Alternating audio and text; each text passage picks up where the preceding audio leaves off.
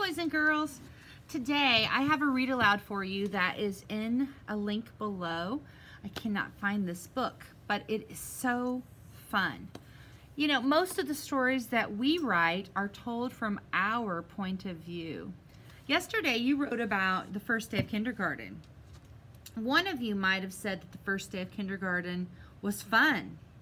Somebody else might have written and said the first day of kindergarten was scary we have our own point of view.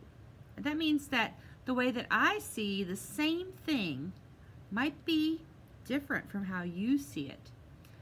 I often think about how a lot of fairy tales have wolves as the bad guy. You know, there's Little Red Riding Hood where the wolf goes and tricks her.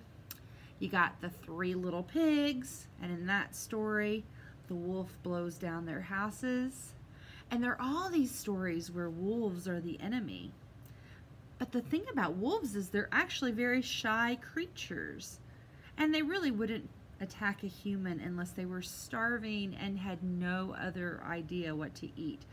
The fact that um, all these stories have wolves going after the characters, it's kind of an unlikely thing. So why is it that the people who wrote those stories make the wolves into the villain, the bad guy?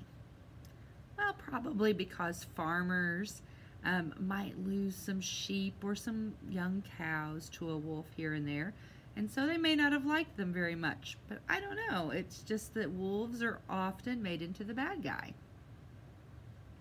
But a wolf has to eat, right? When it goes and, and gets a sheep, it's not really trying to be a bad guy. It's trying to eat and feed its young. And so I think about Jack and the Beanstalk a lot. Is it right for Jack to go and steal from the giant? What do you think? So in this story, you're going to hear the story from the giant's point of view. Point of view is how the giant feels. So when you listen to this story, it is going to be told by the giant.